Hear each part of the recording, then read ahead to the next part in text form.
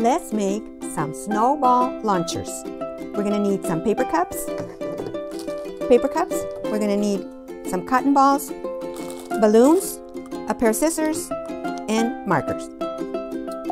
Make a hole on top of your cup. And we're gonna cut all around. Next, we're going to use our markers and we're going to draw a face. Once you draw the little face, we are ready to put on the hat. Get your balloon and we're going to tie this in. Next, we're going to cut up here.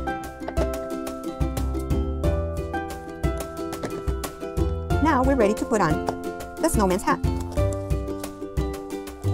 And you are ready to launch your snowball. Tilt the cup. Be sure to hold from here, hold from here, and here. Get your snowball and let the fun begin.